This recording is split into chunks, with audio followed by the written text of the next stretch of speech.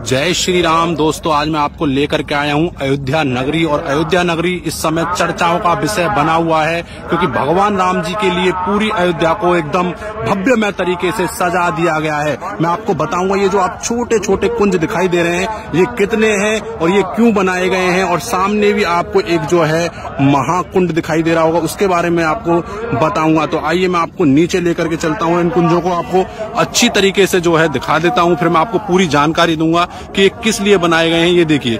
ये इस तरीके से जो है कुंज बनाए गए, नीचे से मैं आपको दिखा देता हूँ। और इस कुंजों में होने वाला क्या है, आप भी ये सोच रहे होंगे तो मैं आपको बहुत ही अच्छी तरीके से समझाऊँगा। सबसे पहले मैं आपको बता देता हूँ, ये जो कुंज है, नेपाली बाबा ने बनवाए हैं और क्यों बनवाए हैं, मैं आपको वो भी पूरी जानकारी दूँगा। तो सबसे पहले तो मैं आपसे निवेदन करूँगा अपने सत्य सनातन धर्म हेतु इस वीडियो को ज़्यादा से ज़्यादा शेयर अवश्य कर दे, ताकि आपके माध्यम से लोग जो है जानकारी जान पाए और अपनी सत्य सनातन धर्म की ताकत देख सके और जान सके कि भगवान राम जी के लिए इस अयोध्या नगरी को कितने सुंदर तरीके से जो है सजा दिया है। आपको आगे लेकर के चलता हूँ।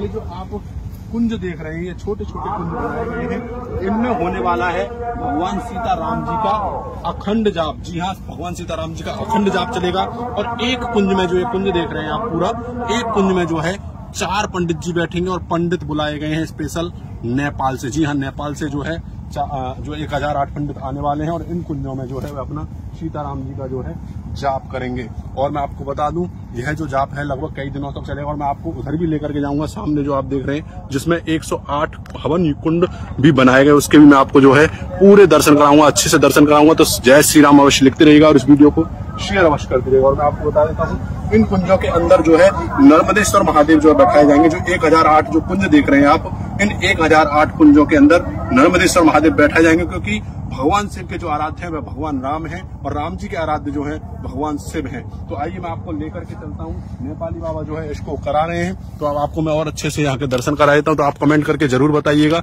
यह दृश्य आपको कैसा लग रहा है? देखिए, कितना आनंदमय दृश्य है।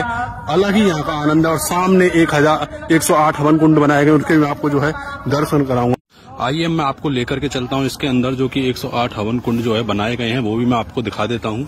तो ये देखिए, यहाँ पर सीताराम का जो है अखंड जाप चलेगा, लिखा भी हुआ है यहाँ पर। तो आइए मैं आपको अंदर जो है इसके दर्शन करा देता हूँ कि किस तरीके से जो है इसको बनाया गया है। यहाँ पर दूर दूर से जो है संत आए हुए हैं और इस अयोध्या नगरी को भव्यमय तरीके से सजाया गया भैया ने यहाँ पर लिखा हुआ है। तो आइए मैं इसके अंदर लेकर के चलता हूँ। ये देखिए। ओ हो हो हो, क्या बात है। शानदार। कमेंट करके अवश्य बताइएगा आपको ये दृश्य कैसा लग रहा है। मेरा सीना जो है गदगद हो रहा है। यह दृश्य ऐसा लग रहा है मान को चलो मैं त्रेता काल में आ गया हूँ और राम भगवान के साक्षात जो है दर्शन कर रहा हूँ। ये देखिए, कितने सुंदर तरीके से जो है इस हवन यज्ञ को, कुंड को बनाया गया है। ये देखिए वाह कितना सुंदर। ये देखिए, यहाँ पर जो है माताएँ सजाने लग रही हैं इन कुंडों को। तो बहुत ही भव्यमय तरीके से जो है यहाँ पर भगवान राम की आने की तैयारी खुशी मनाई जा रही है। नेपाल से जो है एक हज़ार आठ पंडितों को बुलाया गया है। वह यहाँ पर आकर के जो है अखंड सीताराम भगवान का जो है जप करेंगे। तो ये देखिए, मैं आपको दिखा रहा हूँ। अद्भुत, अकल्पनीय है यह स्थान। मैं आपको बता देता हूँ, अगर आप भी यहाँ पर दर्शन करना आने चाहते हैं तो आप आ सकते हैं। अयोध्या में बहुत ही सुंदर ये तरीके से बनाया गया है। तो ये हमारा बड़ा परम सौभाग्य है कि हम इस स्थान के दर्शन लाभ ले रहे हैं और आपको भी जो है इस स्थान के दर्शन लाभ करा रहे हैं। सभी को जय श्री राम, जय वीर बजरंगी जय जय श्री राम।